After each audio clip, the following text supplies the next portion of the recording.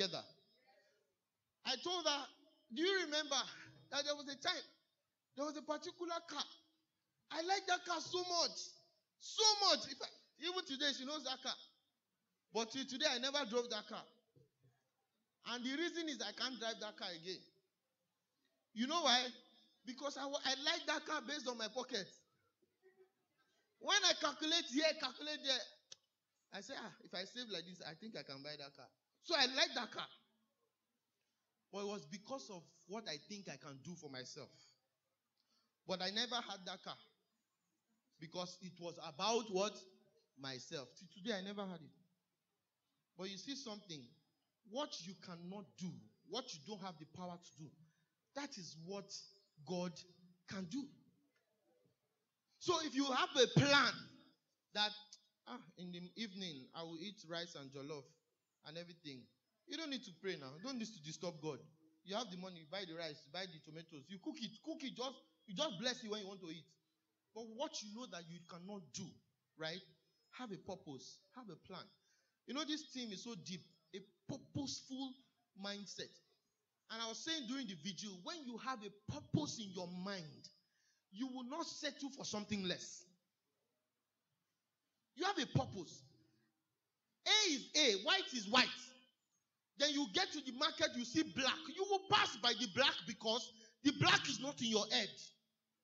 When you see white, you will look. Okay, is this the particular white? Because you have a picture in your mind of what you want.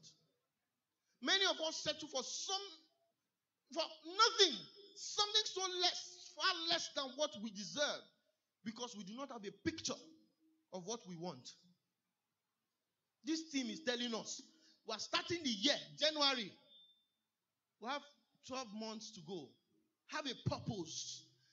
Form it in your mind and drive and run with it. There's nothing God cannot do. No situation that He cannot solve.